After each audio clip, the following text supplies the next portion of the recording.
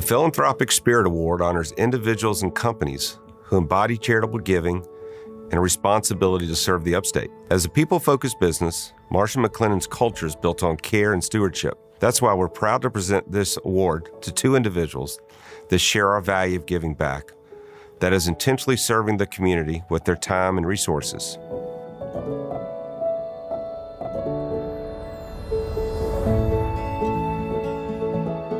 Reason they're deserving of this award is because of the time, the talent, and the resources that they have given back uh, to various nonprofits as well as to the community as a whole. They are basically two individuals who really just a epitome of, of putting others before self.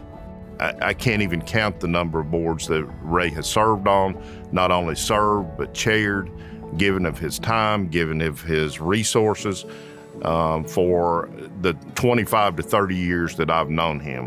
When Dennis serves, he, he fully involves himself uh, with his with his knowledge, with his experience, with his financial resources, with his contacts, with his with all of his talents, and he always makes a huge impact when he does serve.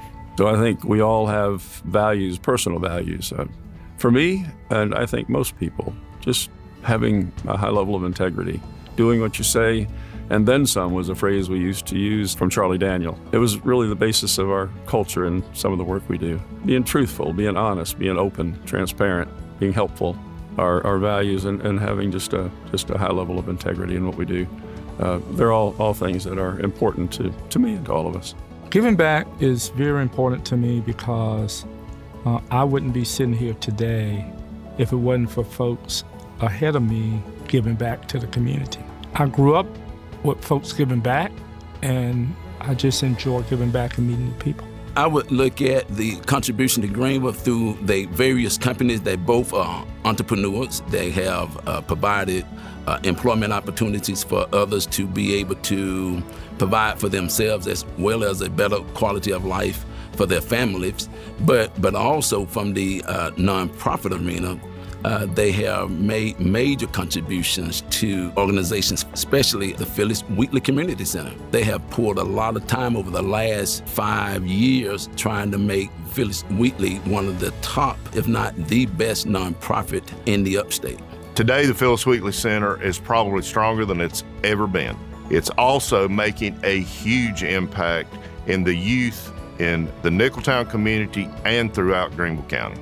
Receiving this award really is a way to highlight the need for engagement in philanthropy.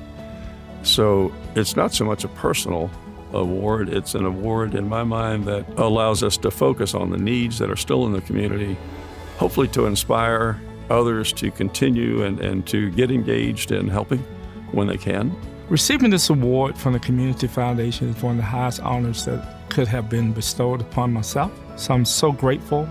I'm so humble for this award. Uh, the community work that we do is not for awards, but it's always nice to be recognized.